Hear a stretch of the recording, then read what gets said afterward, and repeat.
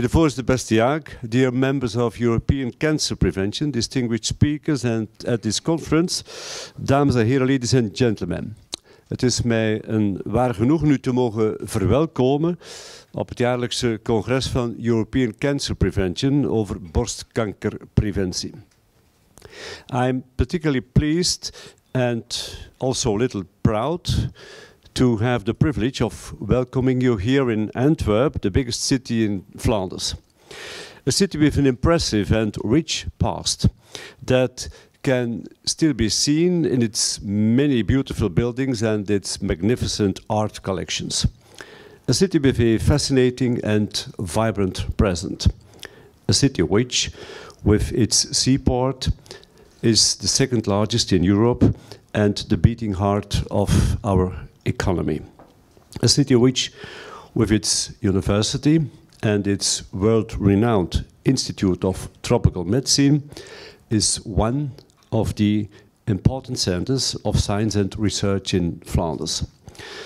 For those of you who are in Flanders for the first time, I will briefly like to mention that Flanders is, with six and a half million inhabitants, the largest federated state of Belgium, which since 1970 has been transforming from a unitary into a federal state, a process that is not yet finished. Dames en heren, die Gesundheit ist zwar nicht alles, aber ohne Gesundheit ist alles nichts. De gezondheid is weliswaar niet alles, maar zonder gezondheid is alles niets, schreef de Duitse filosoof Arthur Schopenhauer twee eeuwen geleden. En ook negentiende van ons geluk berust enkel op de gezondheid. Zijn wijze woorden van toen zijn dat ook vandaag nog.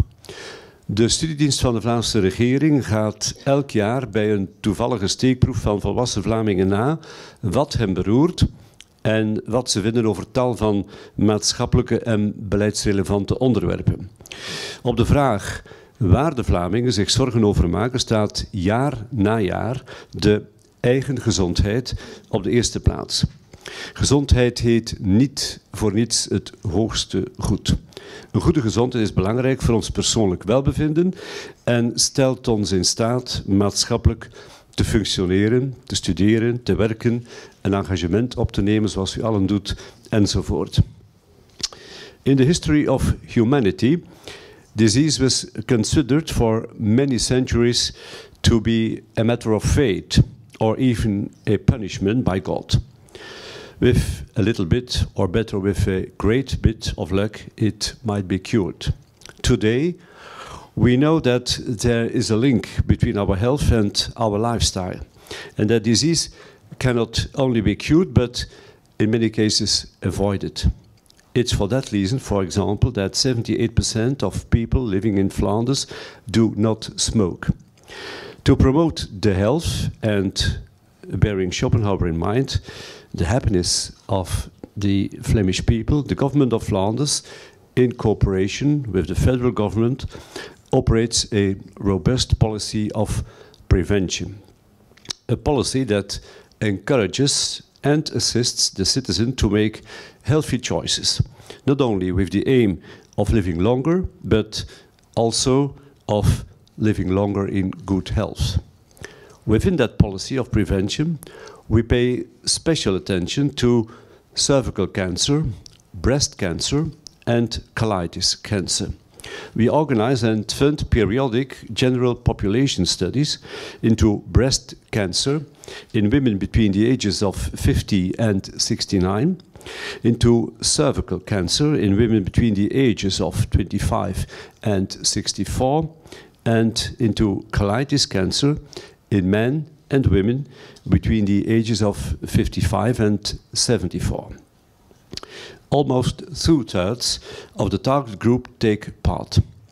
Thanks to breast cancer screening, we are able to reduce the mortality rate by 15%. With an even higher rate of participation, we could achieve 25 to 30%. Therefore, we will keep looking for ways to reach more people.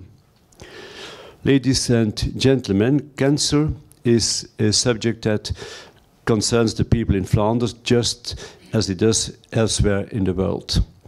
For everybody knows somebody among his family or friends who has been affected by the disease. We all know how shocking it is to hear that the doctors have diagnosed cancer. The fight against cancer has had a, a high priority on both medical and social agendas for many decades. Fighting against cancer through prevention. That's what European cancer prevention has been doing since 1982 for 35 years. An anniversary for which I would like to offer you and your organization my sincere congratulations. But I not only want to congratulate you, but also to thank you. Because fighting against cancer through prevention is something you focus on every single day. It has become a part of your life, perhaps even your passion. And thanks to your work, thanks to your research, and of course that of your predecessors and your colleagues in other branches of oncology, much progress has been achieved in past decades regarding the causes of cancer, the prevention of cancers and its treatment, and progress is still being made every day. Thanks to that progress, the lives of many has been lengthened and the quality of life improved. Dames en heren, het is de opdracht van de politiek om door de inrichting en de sturing van de samenleving zoveel mogelijk welvaart en welzijn te creëren, ten einde zoveel mogelijk mensen zo gelukkig mogelijk te maken. Niet alleen de mensen van vandaag, ook de mensen van morgen. En omdat uh, mijn Vlaamse regering ervan overtuigd is dat het belangrijk is om vooruit te kijken, hebben wij een lange termijnvisie ontwikkeld in de visie 2050. Op basis van een grondige analyse van de internationale ontwikkelingen en van de megatrends die zich nu onder onze ogen afspelen en die ingrijpende gevolgen hebben, hebben wij in die nota neergeschreven hoe wij willen dat Vlaanderen er in 2050 uitziet. Opdat er ook dan welvaart, welzijn en geluk zou mogelijk blijven. Heel algemeen luidt die toekomstvisie. We willen in 2050 een sociaal, open, veerkrachtig en internationaal Vlaanderen dat welvaart en welzijn creëert op een slimme, een innovatieve, een duurzame manier en waarin iedereen meetelt. En om die ambitie te realiseren is een omslag nodig. Een omslag in het beleid, een omslag in de geesten, een omslag in het gedrag van burgers en bedrijven. U weet net als ik dat we geconfronteerd zijn met zeer snelle disrupties wereldwijd in alle mogelijke sectoren. En aan de hand van die megatrends schuiven wij zeven beleidsdomeinen naar voren, waarin we die omslag van cruciaal belang vinden om die algemene doelstelling te realiseren.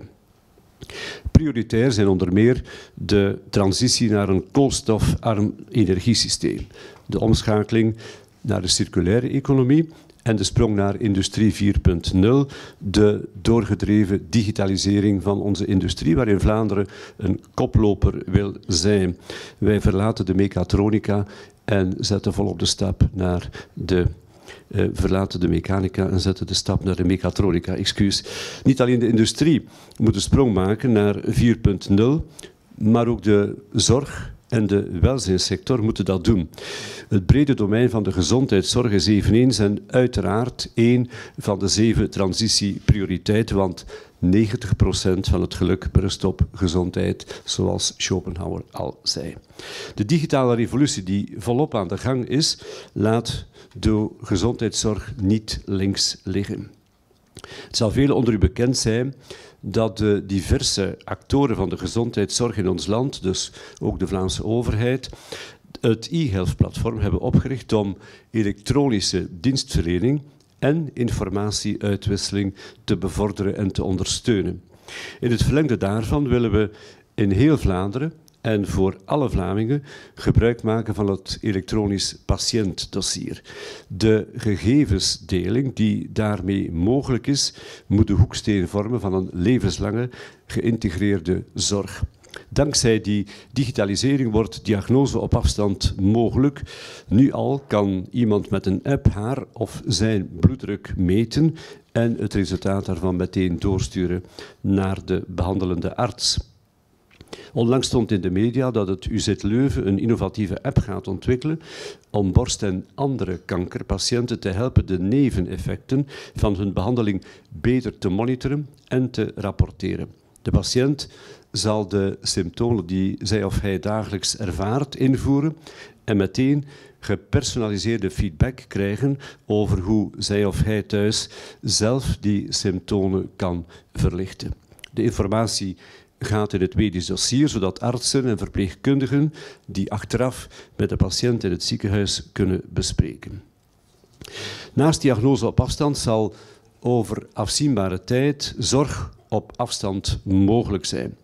Door de combinatie van data-analyse en artificiële intelligentie, meer bepaald robotica, zal elke persoon met een zorgbehoefte, zelfs tot op hoge leeftijd, op maat behandeld en geholpen kunnen worden en, zo zij of hij dat ook wenst, tot haar of zijn levenseinde thuis kunnen blijven.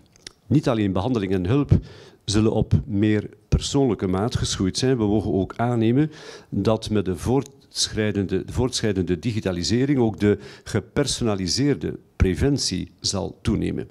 Preventie dus die rekening houdt met de specifieke omgevingscontext, met de genetische predispositie en met de persoonlijke levensstijl en die uiteraard gebaseerd is op de resultaten van wetenschappelijk onderzoek. Het lijkt mij een van de innovatieve medische ontwikkelingen te zijn waaraan u als oncologen zeer zeker zult kunnen bijdragen. Ladies and gentlemen, those were a few reflections I wanted to share with you at the start of your meeting. May I conclude by thanking you once again for your contribution day in, day out to the prevention of cancer in general and to that of breast cancer in particular. I wish you a fascinating, and instructive, and a fruitful conference. Thank you.